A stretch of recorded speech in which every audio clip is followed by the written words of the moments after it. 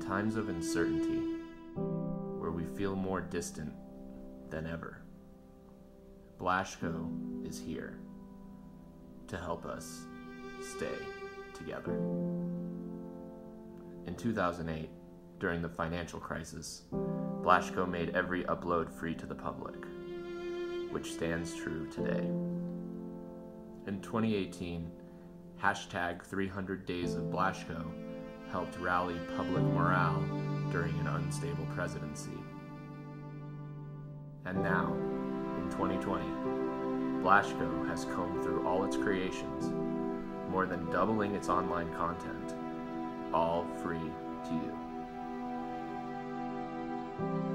Since 1972, Blashco has kept us laughing with one another.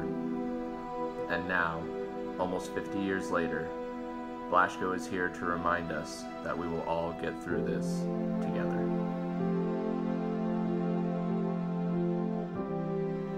And remember, Blashco will never force you to get vaccinated. Blashco, so good, it's bad.